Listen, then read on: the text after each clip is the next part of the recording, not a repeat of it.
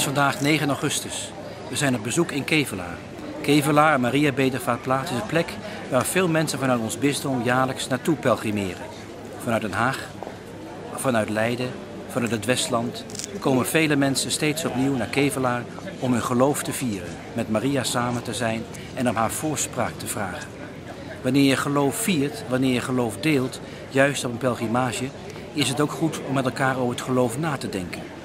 Het directorium voor de volksvroomheid zegt dat juist een bedevaart een plek is waar je tochtgenoten wordt en ook in gesprek gaat over je geloof en catechese kunt ontvangen. Het is nu 9 augustus. De laatste etappe komt van het jaar van het geloof. In het jaar van het geloof heeft Paus Benedictus gevraagd om ons geloof te verdiepen en opnieuw met enthousiasme de inhoud van het geloof te omarmen.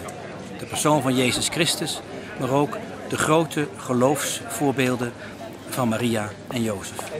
Als we vandaag hier zijn, dan willen we ook de laatste etappe bewust maken. Aan het einde van het jaar van het geloof kunnen we straks terugkijken. Hoe hebben we ons geloof verdiept? Zijn we dichter genaderd tot Christus en het evangelie? Eind oktober wil ik graag alle groepen die bedevaart organiseren vanuit ons bisdom en in ons bisdom bijeenroepen.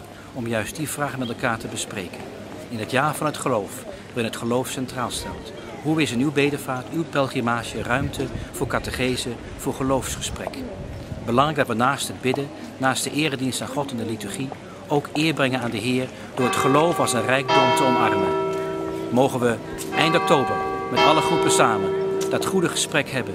En mogen dat in de laatste etappe van het jaar van het geloof een opstap zijn naar vernieuwing van geloof in combinatie met pelgrimeren en bidden.